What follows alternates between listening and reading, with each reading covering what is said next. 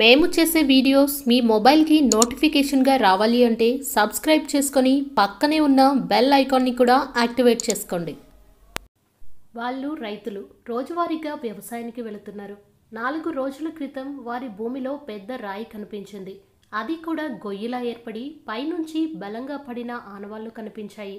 ఎవరైనా కావాలని వేశారా అనే ఆలోచన వచ్చింది రైతులకు. చుట్టుపక్కల అలాంటి గుర్తులు ఏమీ లేవు. కనీసం వాహనాల ఆనవాళ్ళు కూడా కనిపించలేదు. పైనుంచి పడినట్లుగా అనిపించింది. ఆకాశం నుంచి భారీ శబ్దంతో ఉల్క పడినట్లు చూసిన కొందరు రైతులు అంటున్నారు. పిడుగులా పడటంతో రైతులంతా ఒక్కసారిగా వణికిపోయారు. వెంటనే పోలీసులు అధికారులకు సమాచారం ఇచ్చారు. పురావస్తు శాఖ అధికారులు కూడా స్పాట్కు వచ్చారు. బీహార్ రాష్ట్రంలోని మధుబాని జిల్లాలో ఈ షాకింగ్ ఘటన జరిగింది. అసలు విషయం అప్పుడు బయటపడింది. లేత గోధుమ రంగులో అచ్చం రాయిని పోలిన ఆకృతిలో ఉంది. అందులో నుంచి పొగ కూడా బయటకు వస్తుంది. చాలా బరువు కూడా ఉంది.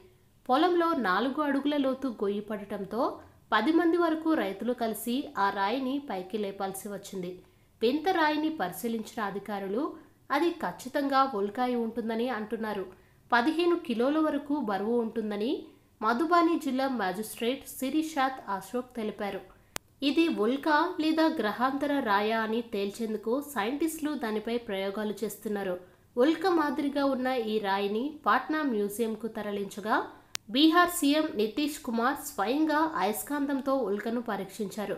సాధారణంగా ఆకాశం నుంచి రాలిపడే ఉల్కల్లో దుమ్ము ధూళికణాలతో కాలిన రాయి మాదిరిగా ఉంటాయి. యుఎస్ స్పేస్ ఏజెన్సీ నాసాకు చెందిన సైంటిస్టులు మాత్రం ఉల్కా అనడానికి నమ్మశక్యంగా లేదని చెప్తున్నారు. రెండు వేల పదమూడు ఫిబ్రవరిలో రష్యాలోని ఉరల్ పర్వతంలో ఉల్కపడి పన్నెండు వందల మంది వరకు గాయపడగా వేలాది ఇల్లు ధ్వంసమయ్యాయి.